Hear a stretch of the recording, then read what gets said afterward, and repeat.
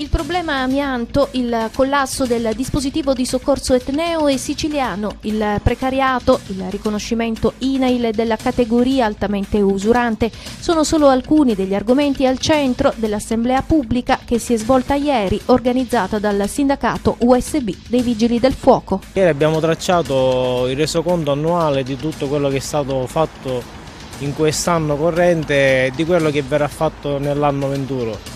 Abbiamo discusso della situazione politica e del futuro sottosegretario agli interni che verrà nominato la prossima settimana.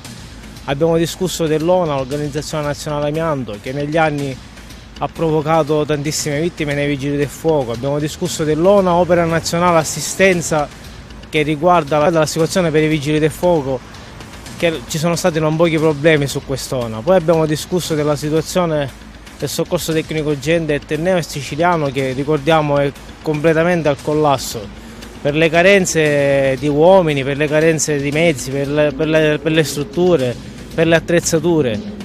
Abbiamo discusso delle assunzioni, abbiamo discusso del precariato, ricordiamo che è secondo soltanto alla scuola, e speriamo che si possa risolvere nel più breve tempo possibile. Abbiamo cercato di, di, far capire alla popolazione che la situazione è veramente critica per quanto riguarda il soccorso tecnico urgente. Cercheremo di far conoscere e di, portare ancora a conoscenza la problematica che attanaglia il soccorso etneo e il soccorso siciliano. Vogliamo fare un augurio di, di buon anno e buone feste a tutti i vigili del fuoco di tutta Italia, anche siciliani, e alla popolazione sperando che, che negli anni a venire qualcosa si possa risolvere.